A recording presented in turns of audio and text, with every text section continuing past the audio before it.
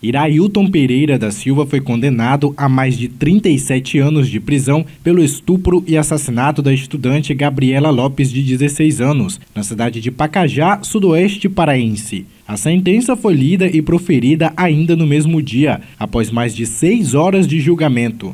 O motivo são, é inerente a esse tipo, a satisfação da, da lascívia.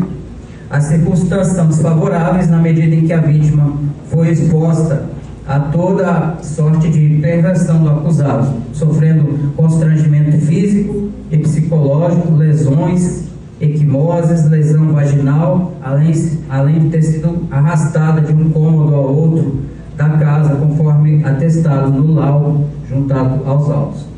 Enquanto a sentença era lida pelo juiz, o acusado acompanhava atentamente e muitas vezes baixou a cabeça. O júri iniciou falando sobre o crime de homicídio e em seguida passou a falar sobre o estupro cometido contra Gabriela. Detalhes de como Ira Newton executou o delito foram explicados pelo magistrado. Segundo o juiz, ele aproveitou que a vítima estava sozinha em casa e já acompanhava a rotina da estudante.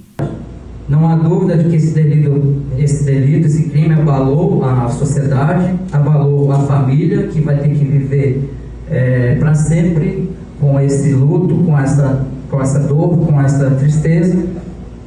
E também o crime foi cometido mediante uma gravidade que extrapola qualquer é, o, o, tipo penal do qual está sendo a, acusado. O julgamento aconteceu no fórum do município de Pacajá e foi acompanhado pelo advogado da família. A defesa buscava a desclassificação para o crime de estupro seguido de morte e juntamente com o Ministério Público conseguimos aí a pena de 37 anos, 2 meses e 10 dias. É um caso emblemático em Pacajá. Faz um ano que a jovem Gabriela foi brutalmente estuprada e morta e hoje a justiça se fez. Preso desde o dia 10 de novembro de 2023, Irailton Pereira segue no presídio em Tucuruí, onde participou da audiência de forma online, através de videoconferência, a pedido da defesa dele.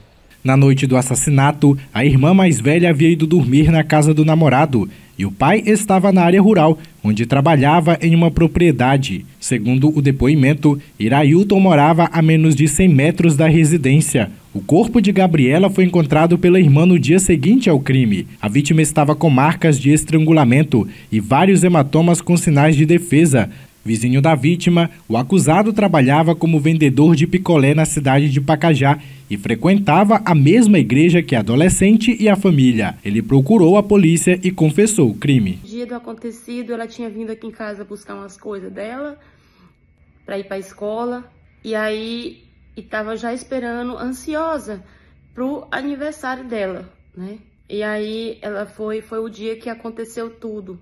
Então é muito difícil para a gente conseguir falar algo, né? Conseguir falar sobre Gabriela. Gabriela tinha um sonho de ser independente, de ter suas coisas, sua vida, e ela não teve oportunidade de ter, de conseguir levar esse sonho adiante.